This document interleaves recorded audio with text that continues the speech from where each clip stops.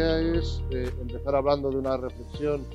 sobre la relación entre la universidad y, la ciudad. O primero, el papel de, la universidad en relación con la ciudad. Y partiendo de aquí, eh, esto lo hará eh, la profesora Marta Gutiérrez, eh,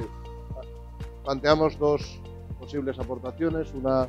que es más una visión global desde la sociología urbana y cómo encajan las dinámicas globales en lo que está pasando en la, ciudad de Salamanca, que lo haré yo, Luis Mena. otra más centrada en los procesos de, de intervención en el territorio, que es algo en lo que eh, se trabaja eh, en muchos de los grados de esta facultad, eh, que lo hará la profesora Sara Serrate, y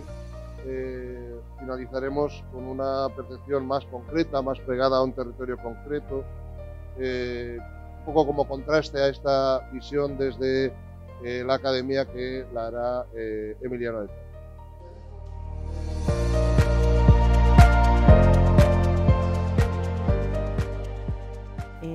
El título de mi presentación o de esta pequeña charla es quizá un poco grandilocuente porque es la relación de la universidad con, la ciudad, específicamente con la ciudad de Salamanca. Y bueno, pues en estos diez minutos difícilmente voy a dar una respuesta satisfactoria a esta cuestión, que es una cuestión compleja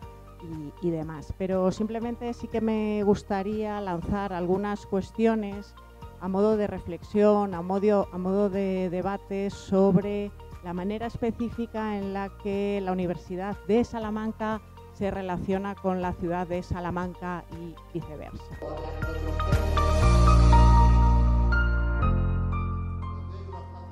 Yo voy a hablar un poco, me han pedido que hable un poco de la idea de,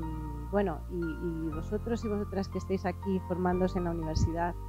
que mañana vais a salir al mercado laboral, pues eh, qué se va a esperar también de vosotros, ¿no? Y cuál es nuestra misión en la formación de estudiantes dentro del campo de las ciencias sociales que mañana van a tener que estar ahí, en ese territorio, en esos barrios, en, esas, en esos entornos, trabajando por, por esta idea de, de, cambio y de mejora, ¿no?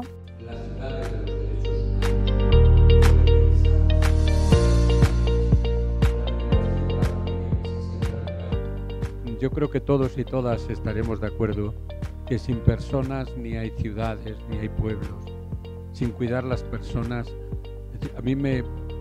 me parece increíble que cuidemos más al turismo que a las personas que están viviendo en la ciudad.